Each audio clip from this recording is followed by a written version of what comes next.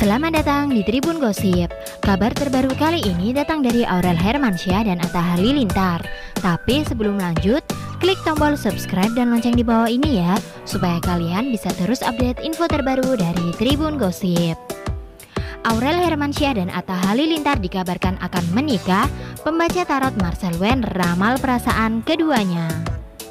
Aurel Hermansyah santer dikabarkan memiliki hubungan spesial dengan Atta Halilintar. Bahkan sempat ada kabar bahwa keduanya akan melangsungkan pernikahan. Walau begitu, baik Atta maupun Aurel tidak menanggapi kabar tersebut. Sementara itu, banyak netizen yang penasaran bagaimana perasaan Aurel sebenarnya terhadap Atta.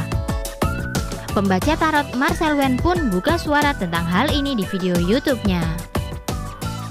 Melalui video yang diunggah Senin 20 November 2019, Marcel meramalkan bahwa hubungan Aurel dan Atta mendapatkan lampu hijau. Marcel mengambil dua kartu tarot secara acak untuk membaca perasaan Aurel untuk Atta. Kartu yang pertama diambil adalah The Sun yang berarti kebahagiaan. The Sun digambarkan sebagai seorang anak yang sedang menaiki kuda di tengah taman bunga matahari dan tampak matahari di belakang anak tersebut. Menurut Marcel, Aurel merasa bahagia dan nyaman saat bertemu dan bersama dengan Atta.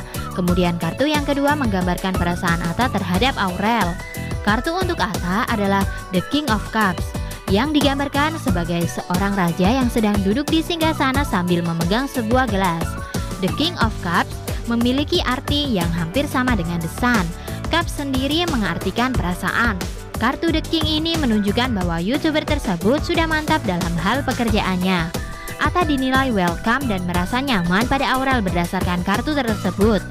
Hubungan mereka dinilai oleh Marcel mendapat hijau karena mereka berdua merasa nyaman dan bahagia saat bertemu.